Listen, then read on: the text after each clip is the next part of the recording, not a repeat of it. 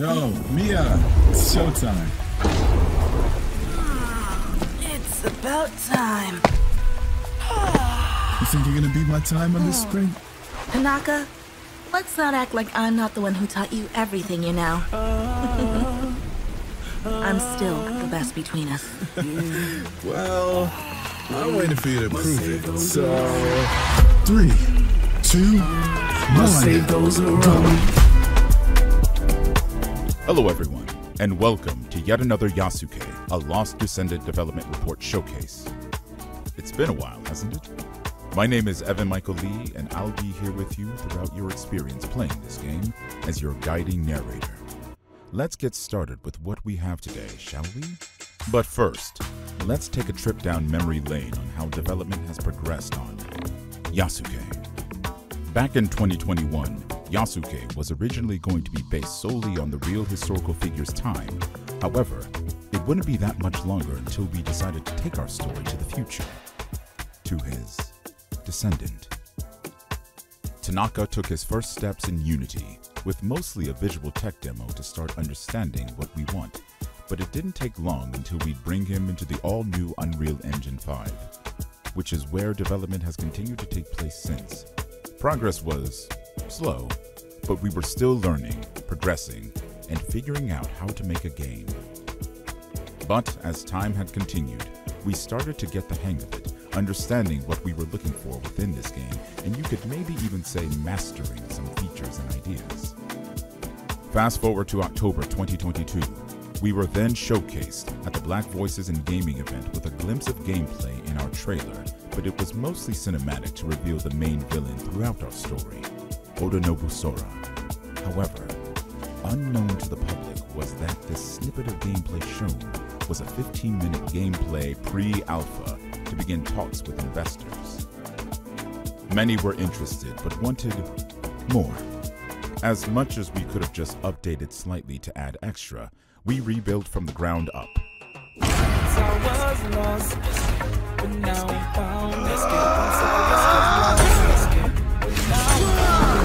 Once I was lost, let's get, let's get found, let's get, let's get found, let's get,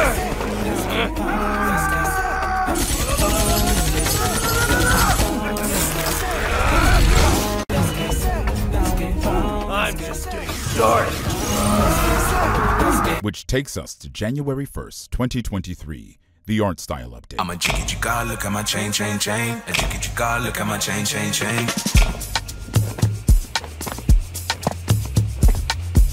Jiggy jigga, look at my chain, chain, chain. A jiggy jigga, look at my chain, chain, chain. Jiggy jigga, look at my chain, chain, chain. I'm moving up, bring out a bang, bang, bang. Our workflow and pipeline for both visuals and gameplay started to streamline, and we now had the exact goal of what Yasuke was supposed to be. We then showcased this in June with our trailer at Summer Game Fest Future of Play. So, you're the one that spoiled brat with daddy issues was worried about. Nobusaurus sent you then, huh? And you are? Kenny fucking Lawrence. Once I was lost, Is that a name we're supposed to know, or The one and only patriot of the West. He's out of his damn mind. Let me tell you a little story, Mr. Yasuke. I really don't care. Yeah, I like patriots. Really killing. Man to man, arms to weapons. That's what kept me on. But how lucky I was to get an invitation for a different gave me a gift. One of those Danketsu things y'all having. It's time for me to get in on the fun. Even if we're not yet strong enough for Oda, this is still our step forward. So I would let someone like you get in my way! Yasuke, let's Yasuke. What I was expecting for the so-called infamous Tanaka Yasuke. I'm interested to see where your story goes. I'll make sure to bring out your best potential against the Oda clan, so we can free the people of Neon Koku, no matter what.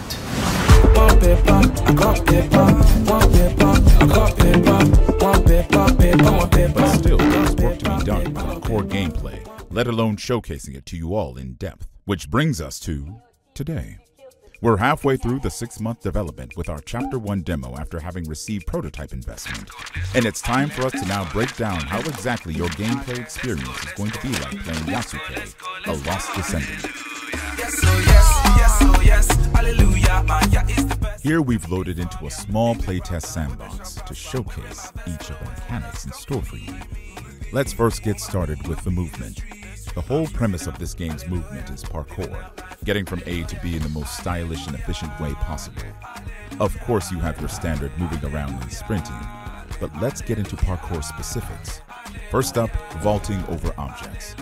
This has been done with impressive technology that detects the last footstep Tanaka was standing on before hitting the object to be vaulted, which then chooses which animation to be played to correspond. Additionally, vaulting isn't limited to one preset type of environmental object. Lengthen an object or stack multiple next to each other, and Tanaka's animations will be able to adjust to fit what he's vaulting over. To pair up with vaulting, you can also slide under objects, vault up taller walls, and dash. Now that takes it for movement on the ground. Let's kick it up a notch.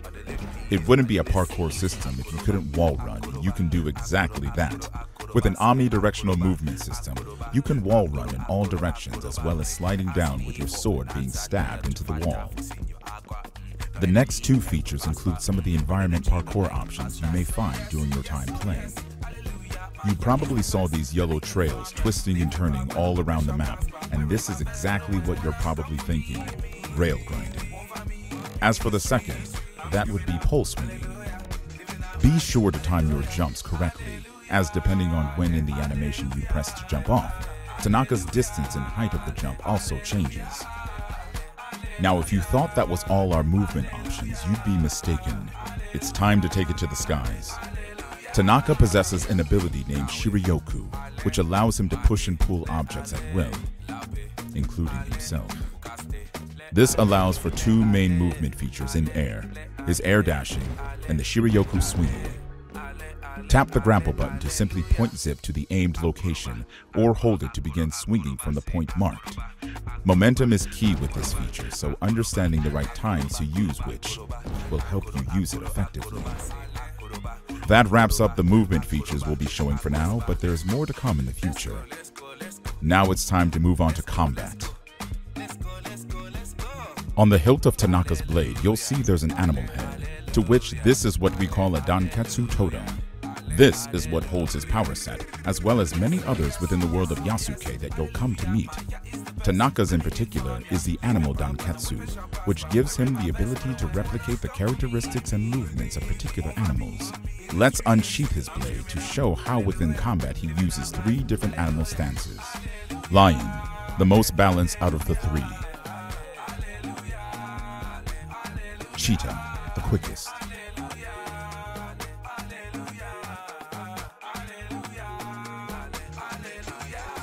And Rhino, the heavy hitter. Each stance comes with a base light and heavy attack combo string as shown here, starting off with Lion's light combo string. Now it's heavy. Next is Cheetah's light string. And it's heavy. And finally, Rhino's light string. And it's heavy. Additionally, if we resheath our blade, you can see that Tanaka also has an unarmed moveset with his fighting style being based on Shoryu Karate with a mix of boxing. Now, if you think we'll only be fighting on the ground, you'd surely be mistaken. Hold down the light action button to launch your enemy up with you, leading into air combat. Just the same as before, each stance has its own light and heavy string in the air, giving you even more options and variations of combat. Starting off with Lion's light in-air combo string. Now it's heavy. Next is Cheetah's light in-air string.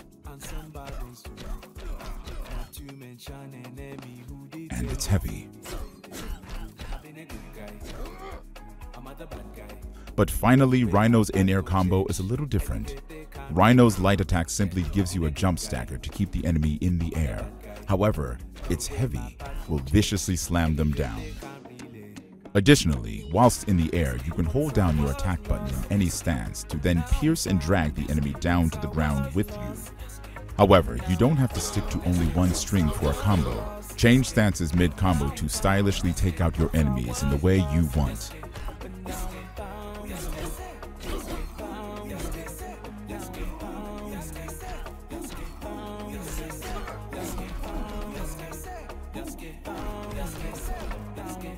Technically, there's one more stance, that being the guard stance.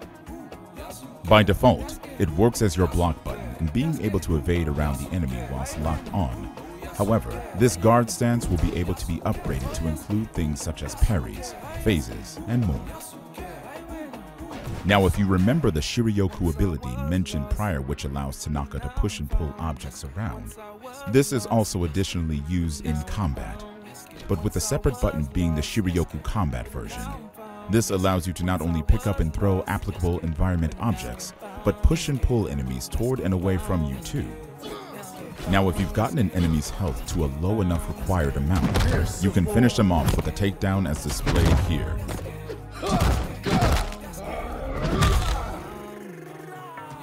Additionally, if the enemy you are trying to take down is close enough to a wall, you can hit them with a wall pin takedown instead.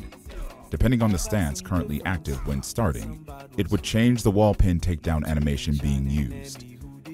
And finally, we aren't going to go too much into this as we'll show it more in depth at a later date, but each stance comes with its own super attacks and style attacks. Super attacks are skills used within your general combos and gameplay, some that help offense and others that help defense. For example, the Rhino stance being able to stomp and summon a wall by holding the heavy button. This wall can also be pushed by Shiryoku, so keep that in mind. Now, style attacks are your big hitter ultimate attacks.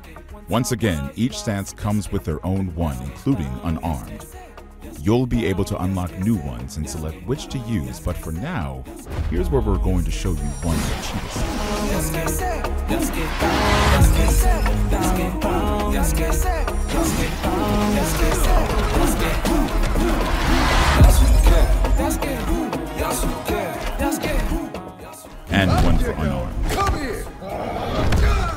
that's going to wrap it up for the features we'll be showing off with combat here, but once again, there's even more to come and be revealed later down the line, including team combat.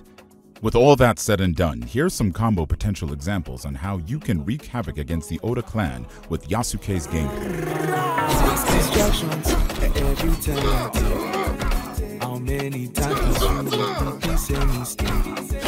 I've had some good friends and some bad ones too. To mention an enemy who fool. I've been a good guy, I'm a bad guy. The way my path will change, elevate they can't relate. Yeah, I've been a good guy, I'm a bad guy. The way my path will change, elevate they can't relate. Once I was lost, but now I'm found. Once I was lost, but now I'm found. Once I was lost, but now I'm found. Once I was lost, but now I'm found. Found, found, found, found,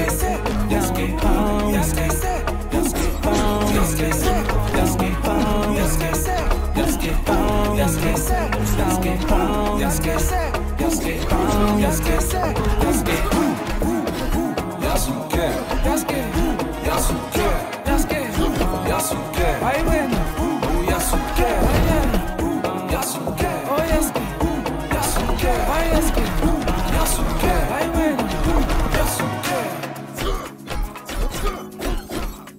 That's enough of the playtest demo level, however, now using everything we've learned here, let's showcase a quick run through a dungeon crawler test level.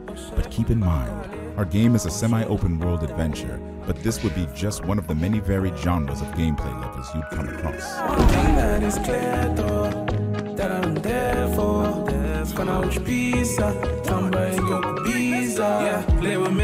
Play to lose. check me, rendezvous. I'm becoming what I fear. One more was in endo me. But you wanna be with a B-I-G. I say let six feet reach. You and your bubble come bubbling down shako. Kunaka so ako. I can't imagine what you've seen my DMs ako. Wondering I'm kutichi. Uno di. What folks, my shorty. Tell me what you see. Not at them, but look at me. Auntie, auntie, are you rotted like a belly dancer? Different you, baby, are you an actor? Give me a silly,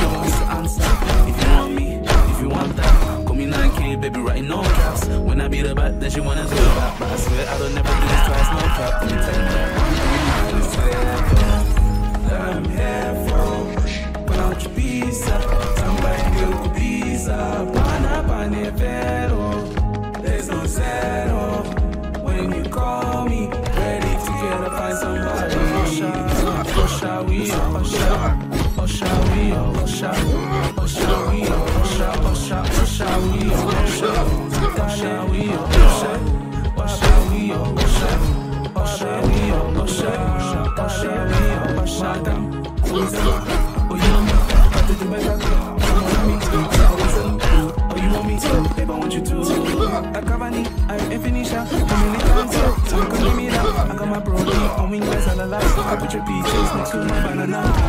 For those who wanna dance, 所有的猜想都被拆穿。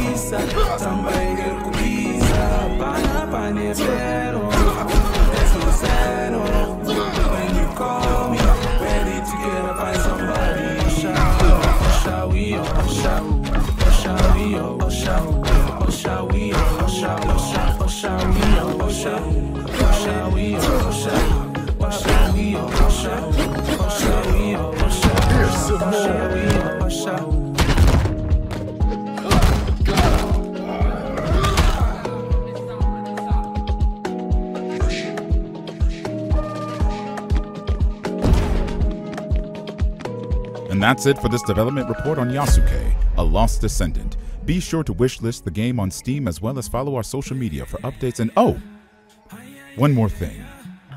Do you want to be a QA tester and play the current build?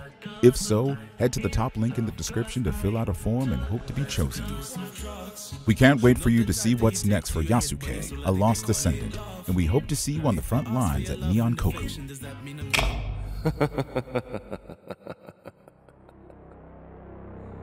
I'll be waiting for you. Yasuke.